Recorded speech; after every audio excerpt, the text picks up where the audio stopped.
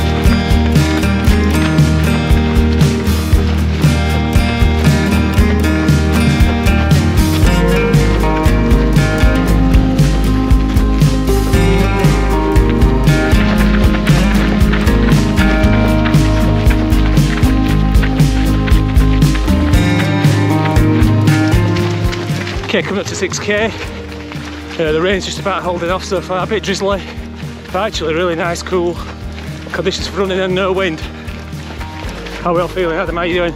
Yeah, doing good. Yeah. Doing good, not bad. Is that, all got, is that best you can say?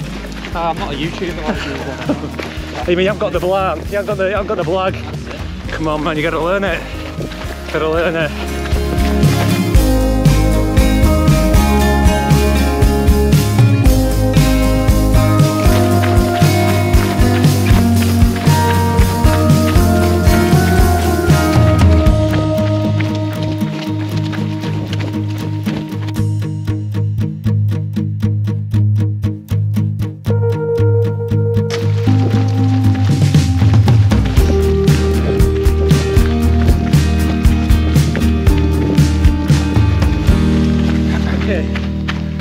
Now gone through uh, don't know about 13 14k I think. Uh, and it's getting dark. I haven't put my head torch on yet but I should be doing really. Feeling pretty good at the moment.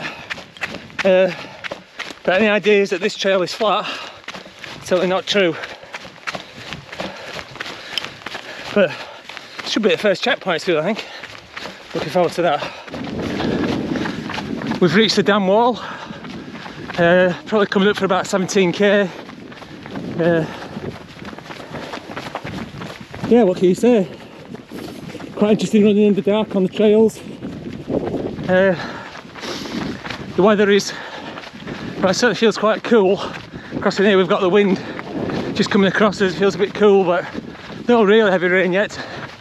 And yeah, feeling kind of okay just about coping so far.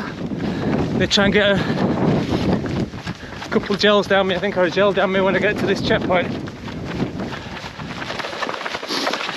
I'm just approaching checkpoint two, uh, just under 18 kilometres.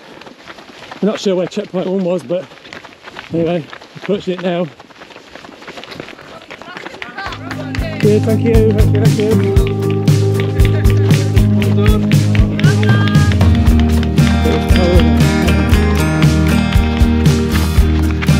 So we've just come through halfway. Um, rain's starting to fall a bit more heavy now. Um, yeah, my legs are starting to feel it for the first time. But just gonna keep chugging away, chugging away. Easy half done, yeah. Thank you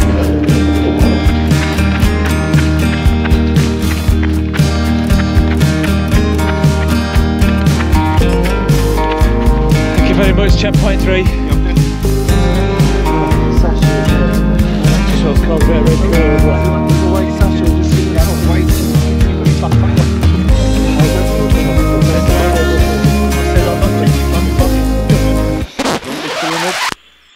Right, there's no need to adjust your television set. I'm here in a hot tub with a cup of tea. So let me tell you about the last part of the race from where I think I last filmed, which was at checkpoint three, which is about 30 kilometres in. So after that point, uh, the weather took a turn for the worse, I would say, and the rain definitely got a lot more heavy and persistent. So it meant that the last sort of 15k of the race were definitely quite challenging. Um, and yeah, we found it difficult. You know, just to keep going, keep warm, keep motivated, while it was absolutely chucking it down with rain. I have to say, the marshals at the checkpoints did a fabulous job because it can't have been very pleasant for them in the heavy rain that there was. They had some, they had a sort of tent up, but it can't have been very easy. They did a great job. Um, and yeah, no doubt they were very, very pleased by the time we'd finished. We were pretty wet. Um, but the venue was great.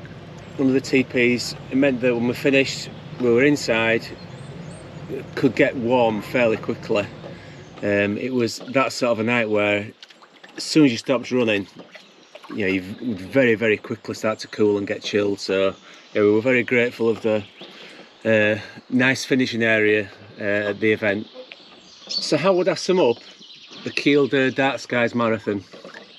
Um, I think first of all, I have to say it is challenging, no doubt about that at all. You might get the idea that because you're running around the reservoir, it's going to be fairly flat.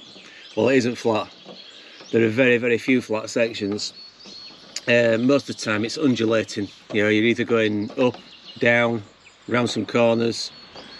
Um, and actually, I think there was just under 700 metres of ascent on the course. I mean, that shows you that it certainly isn't flat at all. So, in that sense, definitely more challenging than you might think. And then there's the area that you're running in. I mean, it's a beautiful area to run in. You know, some lovely forests, you know, bird song that I'm pretty sure you can hear now on this video. Lovely bird song. And when we did it last night, although it was raining heavily, there was no wind, so there was just a lovely quietness of uh, to the area when you're running through it. Really nice. It's also something about running at night that makes it completely different to running in the day. Um, and I suppose what's enjoyable is on some of the sections, particularly on the inlets where you where you sort of doubling back on yourself, is to see the great big long line of head torches. You know, so although sometimes you feel sort of quite isolated out there, you know you're out there with lots of other fellow people. So yeah, that was that was quite nice. Um, and then the terrain that you're running on, it's it's compacted gravel all the way around, um, and it's just fabulous to run on. Really nice surface, get good grip, um, and also I didn't feel the fatigue um, in my legs, in my hips. Oh, there we are, hot tub moment. Um, that you normally get on a long run like that, so that was that was really great too. And finally, the great thing about these events is the for me, the people that you meet. Um, and Trail Outlaws are, are great at putting on really relaxed, the challenging events, but there's a lovely relaxed atmosphere about them. It feels really non-competitive. You know, people are out there just to have a good time, to do whatever goals that they've got without any pressure on them, and it's and it's really well supported. You know, the the, the structure that they've got in the events is fabulous. So yeah, it just made an all-round, it's been an all-round lovely weekend uh, for myself and the family. So, could I recommend this run? 100%. You've got something a bit different, a bit of nighttime running in a beautiful area, well organised event. It's absolutely fabulous. Right, I'm finishing my tea. Ah. I'm going to enjoy this tub for another 10 minutes.